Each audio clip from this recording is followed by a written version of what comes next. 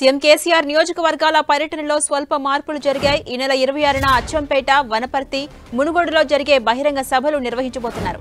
ఇరవై ఏడున పాడేరు మహబూబాబాద్తో పాటు వర్ధనపేటలను బహిరంగ సభలో పాల్గొనబోతున్నారు కేసీఆర్. ఎన్నికల సమయం దగ్గర పడుతుండటంతో ప్రచారం జోరు పెంచాలని చూస్తున్నారు బీఆర్ఎస్ అధినేత. ఇదే అంశానికి సంబంధించి మరింత సమాచారం మా ప్రతినిధి శ్రీకాంత్ అందిస్తారు. శ్రీకాంత్. ఈ ముఖ్యమంత్రి కేసీఆర్ బీఆర్ఎస్ పార్టీ అభ్యర్థుల కోసం ఈ నెల పద్దెనిమిదవ తేదీ వరకు మొదటి విడత ప్రచారాన్ని పూర్తి చేశారు. రెండో విడత ప్రచారం ఇరవై ఆరవ తేదీ అంటే ఎల్లుండి నుంచి మొదలు కానుంది. ఇరవై ఆరవ తేదీన ప్రచారం ముందుగా నిర్ణయించిన ప్రకారం అచ్చంపేట నాగర్ కర్నూలు మునుగోడు నియోజకవర్గాల్లో ఉంది. అయితే ఆ రోజు ఒక అచ్చంపేట నాగర్ కర్నూలులో బహిరంగ సభను వనపర్తికి వనపర్తిలో ఏర్పాటు చేశారు.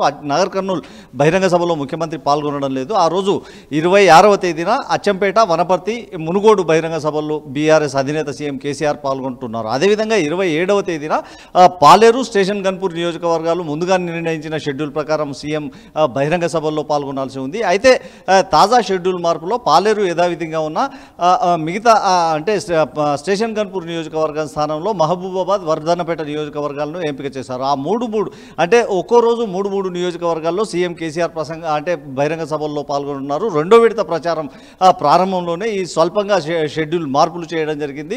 ఇరవై ఇరవై ఆరవ తేదీన మూడు బహిరంగ సభల్లో ఇరవై ఏడవ తేదీన మూడు బహిరంగ సభల్లో ముఖ్యమంత్రి కేసీఆర్ హాజరు కాబోతున్నారు. ఇరవై ఆరో నుంచి కంటిన్యూగా అంటే వచ్చే నెల తొమ్మిదవ తేదీ వరకు ముఖ్యమంత్రి కేసీఆర్ నామినేషన్లు దాఖలు చేసే రోజు వరకు కూడా వరుసగా సీఎం కేసీఆర్ బహిరంగ సభలు నిర్వహించనున్నారు. అన్ని జిల్లాల్లో రోజు రెండు నుంచి మూడు నియోజకవర్గాల్లో బహిరంగ సభలు తొలి విడత పూర్తయ్యేలా పార్టీకి షెడ్యూల్ ఖరారు చేసింది. అందులో భాగంగా ఇరవై ఆరు ఇరవై ఏడవ తేదీ జరిగే బహిరంగ సభల్లో స్వల్ప మార్పులు చేస్తూ కొద్దిసేపటి క్రితం బీఆర్ఎస్ పార్టీ పత్రికా ప్రకటన విడుదల చేసింది. ఝాన్సీ రాణి. అలాగే శ్రీకాంత్ ఎన్నికల సమయం కూడా దగ్గర పడుతూ ఉండడంతో అటు ప్రచార జోరు పెంచాలని చూస్తున్నారు బీఆర్ఎస్ అధినేత. ఈ నేపథ్యంలో బీఆర్ఎస్ భవిష్యత్తు కార్యాచరణ ఏ విధంగా ఉండబోతోంది? ఎలాంటి వ్యూహాలకు పదును పెట్టే అవకాశం ఉంది?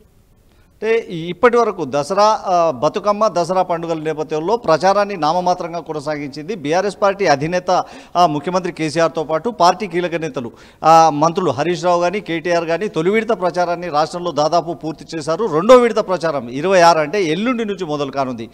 గురువారం నుంచి మొదలు అయ్యే ప్రచారంలో ఇక దూకుడు పెంచాలని బీఆర్ఎస్ భావిస్తోంది. అందులో భాగంగానే ముఖ్యమంత్రి కేసీఆర్ ఒకవైపు మంత్రులు కేటీఆర్ హరీష్లు మరోవైపు కూడా సుదీర్ అంటే సుడిగాలి పర్యటన చేరున్నారు. ఈ నెల మూడవ తేదీ అంటే ముప్పైవ తేదీన ఎన్నికల నోటిఫికేషన్ విడుదల కానున్న నేపథ్యంలో మూడవ తేదీ నుంచి నామినేషన్ల ప్రక్రియ అంటే ప్రక్రియ కూడా మొదలు కానుంది. ఆ నేపథ్యంలో పార్టీ ప్రచారంలో దూకుడు పెంచుతూ పెద్ద ఎత్తున బహిరంగ సభలు నిర్వహించాలన్న ఒక లక్ష్యంగా అడుగులు వేస్తుంది. ముఖ్యమంత్రి కేసీఆర్ తొలి విడత అంటే ఇప్పటి వరకు పద్దెనిమిదవ తేదీ వరకు పలు బహిరంగ సభల్లో పాల్గొన్నారు. మరో విడత అంటే ఇప్పటి నుంచి తొమ్మిదవ తేదీ వరకు చేసే ప్రచారంతో పాటు తొమ్మి పదో తేదీ నుంచి కూడా మరోసారి బహిరంగ సభలు ఏర్పాటు చేసేందుకు పార్టీ రెడీ అవుతుంది. ఇప్పటి వరకు నిర్ణయించిన షెడ్యూల్ ప్రకారం నలభై రెండు బహిరంగ సభల్లో సీఎం కేసీఆర్ హాజరు కావాల్సి ఉంది. అయితే తొమ్మిదో తేదీ అనంతరం కూడా బహిరంగ సభలను పార్టీ నిర్వహించేందుకు రెడీ అవుతుంది. దాదాపు మరో అరవై బహిరంగ సభలను ముఖ్యమంత్రి కేసీఆర్ పాల్గొనేలా పార్టీ కార్యాచరణ సిద్ధం చేస్తుంది. మొత్తం వందకు పైగా నియోజకవర్గాలు కలిసి వచ్చేలా సీఎం కేసీఆర్ బహిరంగ సభలు నిర్వహించ